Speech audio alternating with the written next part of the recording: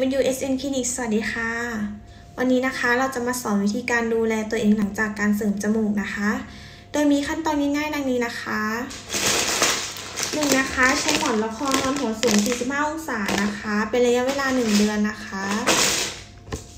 สองนะคะใช้แผ่นเจลประคบเย็นนะคะ โดยเริ่มจากหน้าผากนะคะ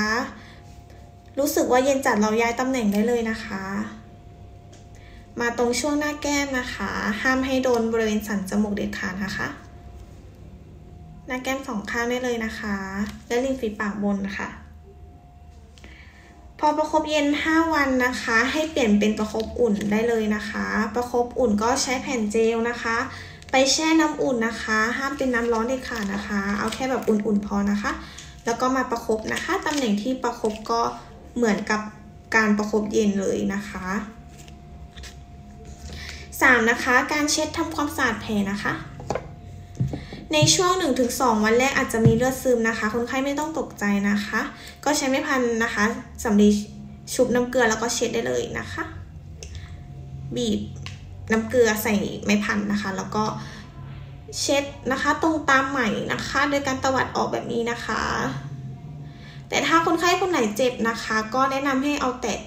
แช่ไว้นะคะ จนข้ามเลือดและข้ามยาละลายติด ไม้พันสำลีออกมานะคะ เราจะเช็ดให้สะอาดนะคะ ห้ามมีคราบเลือดคราบยาเกาะตามไหมเด็ดขาดนะคะ พอเช็ดสะอาดแล้วนะคะ แล้วก็จะตามด้วยยาฆ่าเชื้อเบตาดีนนะคะ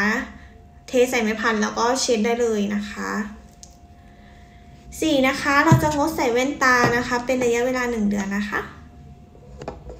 5 นะคะ เราจะงดล้างหน้านะคะ จนกว่าแผลจนกว่าจะตัดใหม่นะคะ